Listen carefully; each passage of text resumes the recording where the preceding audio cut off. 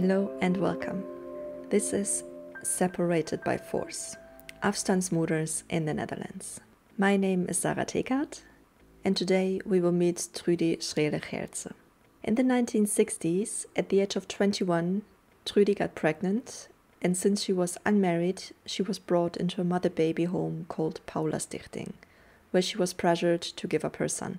Fifty years later, in 2019, Trudy made an important decision she decided to sue the Dutch state for the injustice that was done to her and her son. In this law case, she is represented by human rights lawyer Lisa Marie Komp, who you can listen to in the second episode of this podcast.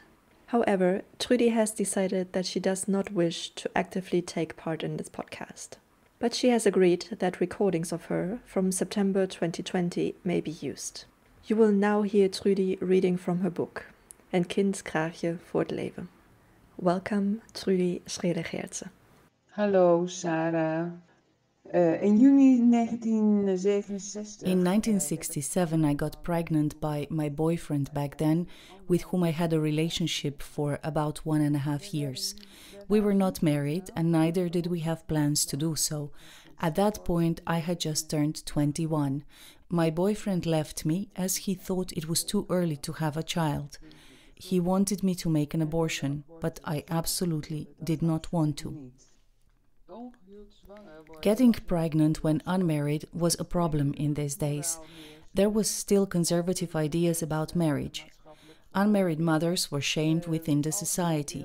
The idea was that the girls or women had misbehaved by having sex before being married, even though it was hardly avoidable. One out of five marriages these days started because the women had gotten pregnant. If it wasn't possible to enter the marriage before the birth of the child, it was a huge problem. The girls and women were excluded from society. Their own families were ashamed of them. I went to a home for unmarried mothers. Even though I was shamed, I had decided that I wanted to take care of my child. For me, an abortion, which my boyfriend wanted, was impossible to imagine. Despite all the problems for myself and for my child, I wanted to keep my baby. Important was that I had to hide my pregnancy, as I still had five months left of a training as a nurse. If they had found out about my pregnancy, I would have lost my job and I wouldn't have gotten my diploma. Because of this, I was really worried during the first months of my pregnancy. Without a diploma, it would be hard for me to find work, and without a salary, I wouldn't be able to support my child. But luckily, I managed to get my diploma. Now it was another three months until the birth of my child. I had planned to move in with my parents, as three months were too short to find a home for myself and for my child. Additionally, it was not easy for an unmarried mother to find an apartment, but my mother had a different idea. She came up with a horrible idea of giving up my child because she was worried about bad talk in the neighborhood and about the shame this would bring to my father. I was really shocked by her idea. Previously, I had never heard of such a thing as giving up your child for adoption. How could my mother even suggest something like that? Mentally, I was already prepared to take care of my son. It felt like the ground had disappeared under my feet, and I told myself, never. I was happy that I was pregnant, only the circumstances were far from ideal. In my naivety of youth, I was convinced that I'd be able to handle the situation by myself. I thought that I would be able to take care of myself and my child, and I was looking forward to it. November 1967, after having finished my training as a nurse and receiving my diploma, I moved in with my parents, but I couldn't stay with them. In the meantime, my mother had organized everything for me at the Paula Stichting in Oosterbeek, a home for unmarried mothers where I was allowed to stay until I gave birth. Because I didn't see any alternative and my pregnancy started to show, I went there on November 23, 1967, hoping that I would find help and advice there. After giving birth, I was allowed to see my son only once. After that, I had to go home with empty hands. I was not informed about my rights or the legal situation, nor about my options to take care of my own child. This mother baby home was designed to have mothers give up their children, since this had become the norm since 1960s. Decisions were made for me, and my child was taken away from me. After long months of sadness and of missing my son, I couldn't handle it any longer. I went back to Mother Baby Home and informed them that I had plans to marry the father of my child. I told them that I want to keep my child.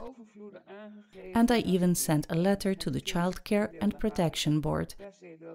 Firstly, this was accepted and I was granted the chance to visit my son. But later, the Child Care and Protection Board thought of this idea as very bad.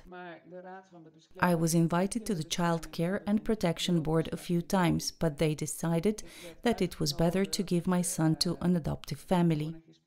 A member of the staff assured me that I was unable to take my son with me as he had the right to grow up in a family. She told me that she will make sure to get this done quickly. Two days later, she has sent an urgent request to the responsible lawyer to take my parental rights away from me and to pass my son on into the system. Without even being heard by the judge, I lost my parental rights for my son. Even though I didn't have any more parental rights, I continued to visit my son. Her promise to search for a family where I'd be welcome turned out to be a lie as well. As I learned later, such families didn't exist. I kept visiting my son, but even a few years later, there was still no family for him. The Paula Stichting was not equipped to take care of children of one year of age or older they were unable to offer these children a pedagogically responsible environment. My son was one and a half years old and delayed in his development. I wanted changes for his sad life in the Paula Stichting as soon as possible. I understood that as long as I kept visiting my son, there would never be a solution for him and there would never be a family for him. At that point, I had to make the most difficult decision in my life I gave up my son. With me by his side, there wouldn't be any solution for him. So I had to choose between two awful alternatives. Do I choose for myself or for the well being of my son? In the end, I chose to give up my son to a couple who couldn't have children of their own. Fifty years later, when I met my son again, for me a very difficult and emotional phase in my life started.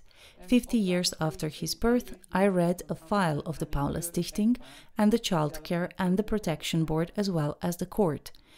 What had been unclear to me for 50 years all of a sudden became clear. During the first two years of his life, my son grew up in an environment without any love or affection. There was no time to give him affection. He missed his mother, and when he cried too much, he was given tranquilizers and still it was impossible for him to grow up with his mother.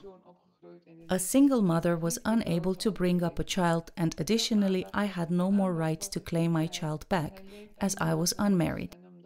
I couldn't get him back because I was unable to provide a family for him. Fifty years later, I know that my son has been raised in a loving family, but my worries about him, the loss, and missing him have immensely affected myself and my life. It was inhumane and degrading. I hadn't thought earlier about getting myself a lawyer because I never knew what had really happened behind the scenes at the Paula Stichting and the Child Care and Protection Board. This was all hidden from me. I was also told to keep it a secret that I had got pregnant while being unmarried and that I have given birth. Later, I was supposed to keep it a secret that I had given up my child. But when I read my file for the first time 50 years later, in 2019, the situation became really clear. Until then, I also didn't know who had paid for me at the Paula Stichting. It turned out that it has been my mother. It was her as well who had decided at the Paula Stichting that I had to give up my child. But in the end, it was neither my mom's decision nor one of the Child Care and Protection Board. It was mine, as I was 21 years old and legally an adult. As an unmarried mother, I was discriminated. This is what it boils down to. An unmarried woman who got pregnant in the 1960s got discriminated. And this is the reason for me, one of the most important reasons. When someone gets discriminated, it is inhumane. That person is not a person anymore. In that state, people can treat you as they please and everything is permitted. They can lie to you and betray you, and that's considered legit because you are being discriminated. You are not one of them anymore. You are a person of a lower class. This also becomes clear when we look at the fact that scientists and psychologists back in the days publicly announced on the radio that single unmarried mothers were mentally less developed and disturbed. And this is what comes with discrimination. This is why I want to achieve attention among society for what has happened at the time in the 1960s. It needs to be understood that discrimination is not acceptable anymore, and especially discrimination of women. It only leads to so many awful things and it needs to stop. When I went public with my story, there was a lot of media attention, but also a lot of reactions from people of my generation who remember the circumstances very well, but who have never really spoken about it. Also, for these people, I want to achieve that this period is looked at critically once again, to see what people are capable of. Because for me, it is one of the worst crimes to separate a child from its mother, especially a child that has just been born and that the mother is not allowed to see. This is just degrading. I get a lot of support from women generally and also from women who had the same experience. In the beginning, I was really worried to go public with my story because I was worried that I would be judged. But luckily, that has never happened. People are really positive about the way how I deal with my story. Uh, mensen vinden het erg uh, positief dat ik op deze manier hiermee omga.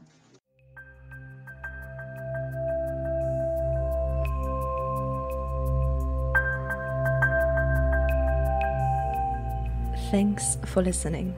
This was Separated by Force, Afstandsmoeders in the Netherlands. If you like this podcast, please feel free to subscribe on Spotify or Apple Podcast. If you want to support our cause, please share this podcast in your social media to reach the utmost attention for the injustice that has been done to Afstandsmoeders and their children in the Netherlands and all over the world. Thank you very much and have a great day.